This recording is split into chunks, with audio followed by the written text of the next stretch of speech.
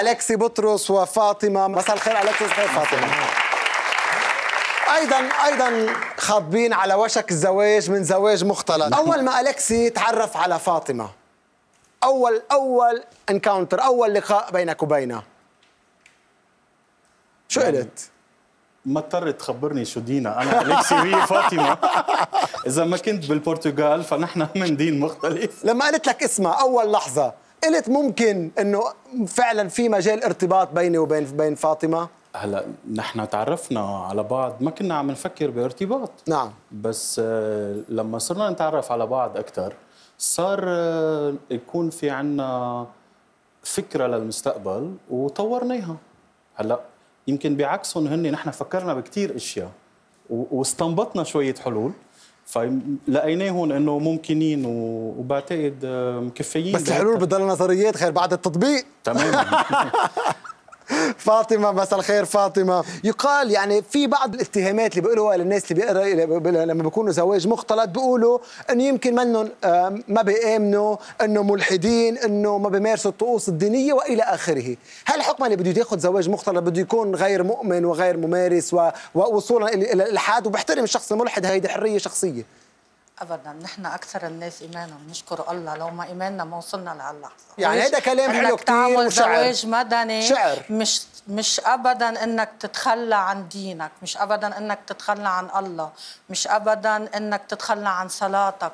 بالعكس في أشياء كثير بتصير تقربك من الله. نحن لو وصلنا لهون كنا كثير قراب من الله.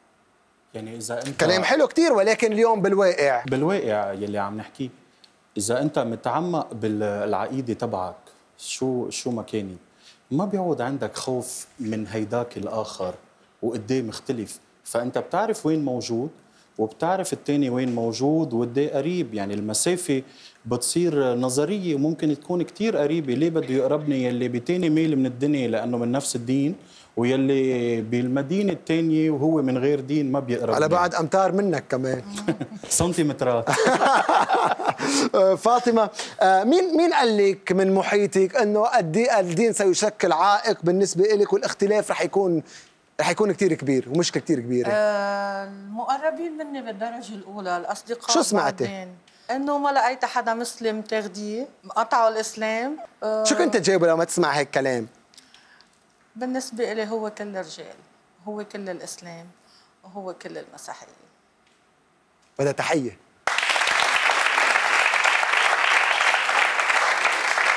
آه، ال- التعليقات اللي بيسمعها الشاب الرجل بده يتجوز هي نفس التعليقات اللي بتسمعها الفتاة أو التعليقات أصعب على على الفتاة لما تاخذ بزواج مختلط؟ يمكن بالنسبة للشاب بيقدر يتغاضى عنا إلى حد ما لما أنت بيكون عندك استقلالية أكبر بال- بالمجتمع الشرقي اللي نحن فيه. بس الشغلة الأساسية الثانية هو الاحترام. نحن عم نحكي عن الحب والدين وكل شيء بس كل هيدا بيدوم بالاحترام للشخص الثاني ويكون متبادل فما بيعود في مشكل أي رسالة فينا نوصل لما يكون جماعيا عم يتزوجوا الناس مدنيا بلبنان؟ نحن بهيدي الطريقة ممكن إنه عم نوصل رسالة إنه قديش نحن ممكن نكون قراب من بعضنا وبنفس الوقت إنه ما نترك الحواجز ال- الفكرية والجو الحواجز العقائدية تبعد كل الناس عن بعضهم ويكون الناس كلهم مثل بعضهم ما في فضل لحدا على الثاني كل واحد هو عنده عقيدته بس هو شو بفكر بالآخر وكيف ممكن يتقبله آه، هو الأساس فكرة زواج مدني جماعي إذا اليوم بده ينظمه لأول مرة أحمر بالخط العريض ونبلش نحض- نحضر له مين ممكن تستفز؟ هالفكرة ممكن تستفز مين؟ يلي عندهم مصالح بتتضارب مع هيدا ال- الزواج. مين هن؟ آه، إذا بدك الأشياء بأسماء أولى بالخط العريض. رجال الدين.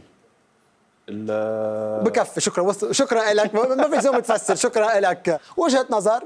في ناس بتوافقك عليها في ناس بتعارضك عليها ولكن سمعت وجهة نظرك وبحترمها مع أليكس كل اليوم احترامنا لرجال الدين أكيد مع احترامنا لرجال الدين.